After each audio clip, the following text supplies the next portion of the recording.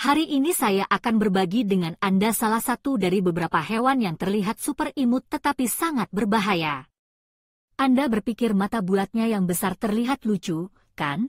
Tetapi itu dianggap sebagai mamalia paling beracun di dunia. Jika tidak sengaja digigit, ini dapat menyebabkan shock anafilaksis, bahkan bisa mematikan. Ilmuwan mengatakan bahwa racun kobra berkepala dua setara dengan racun kobra. Kedengarannya seperti cerita yang mengerikan. Kobra yang terlihat imut ini terdaftar sebagai karnivora teratas di Antartika. Lumba-lumba hidung botol adalah satu-satunya hewan yang dapat membunuh orang tanpa alasan, sama seperti manusia, dan kita semua tahu bahwa lumba-lumba memiliki IQ tinggi, sayangnya kadang-kadang tampaknya tidak begitu berbahaya, sama layaknya seperti manusia.